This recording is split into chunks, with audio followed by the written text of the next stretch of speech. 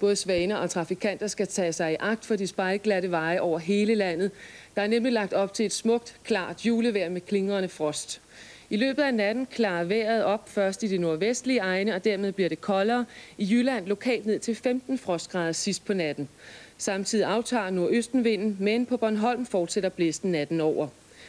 Solskin juleaftens dag, dog kan der først på dagen være en del skyer i de sydøstlige egne. Der bliver, det bliver ned til 5 graders frost og vinden svag i det meste af landet. Og julenat bliver det koldt og stjerneklart i det indre af landet, lokalt ned til 20 graders frost, men vindstille. Det kolde vejr fortsætter julen over. Vi er tilbage i morgen juleaften med en tv-avis kl. 18.30. Tak for nu og på gensyn.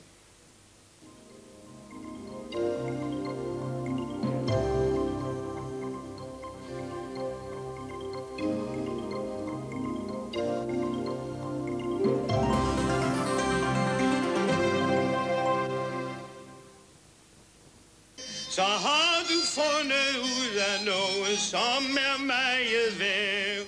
Se eller gense Morten Kork-filmen Vagabunderne på Bakkegården. Et grønt træ. Mor, må ikke godt give dem en kop kaffe? Ja, gør du det, min pige.